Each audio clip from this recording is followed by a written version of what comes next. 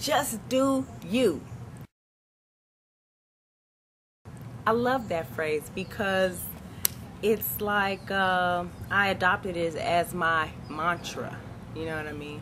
But then I, I analyzed that phrase again and just do you. Take the word do.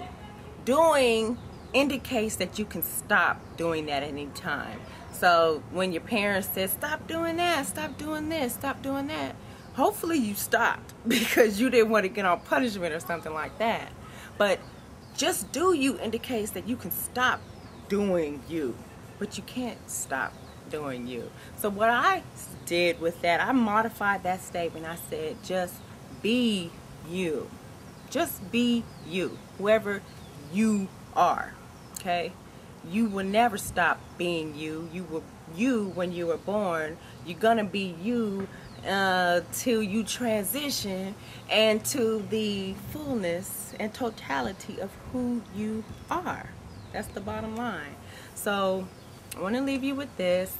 You cannot become what you already are because you already are it.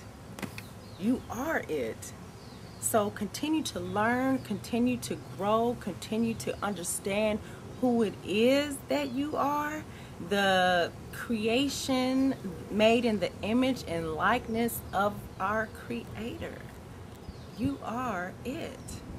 So I leave you with peace. I want to leave you with love. And I want to leave you with light. And always remember to let your light shine for the world to see. Because you are it.